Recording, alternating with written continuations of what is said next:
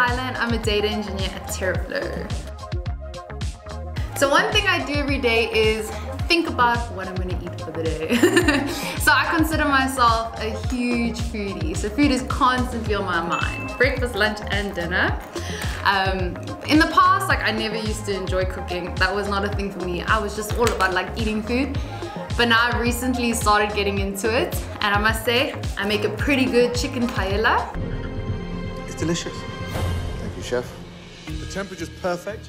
Um, my proudest moment at Teraflow um, was when I actually became a mid, uh, mid data engineer. So when I started at Teraflow, I was like a baby junior. So I just finished university. I knew nothing about the cloud. I, I barely knew how to code.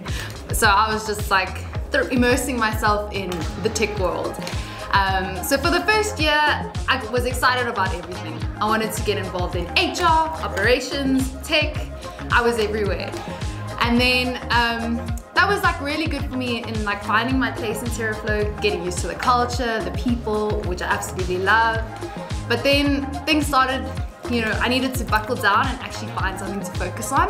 So that was data engineering. So for the second year, I applied myself and I worked really hard to, you know, concentrate and focus on what I needed to do to become a mid-data engineer. And with the help of like mentors and seniors at my company, I was able to get that. So that's like one of my proudest moments. So the skill most valuable to my role is being willing, willing to learn. so we work in such a fast-paced industry with new technologies and we always have like different kinds of problems that have like so many different kinds of solutions. So being willing to learn and positive about learning and having a joy for it is absolutely essential. My dad actually shared this quote with me recently. So he, it says like a good salary is what motivates you once a month, but a good work culture motivates you every single day. And I can truly say that I resonate with that because being at Teraflow, it's the people that honestly make my day. Um, it's our awesome culture. It's everyone's willing to like interact with you, get to know you. And there's just so much like almost as cheesy as it sounds, like love and friendship that flows through our company. And that's amazing. And it's something that I personally haven't seen anywhere else, like besides our company.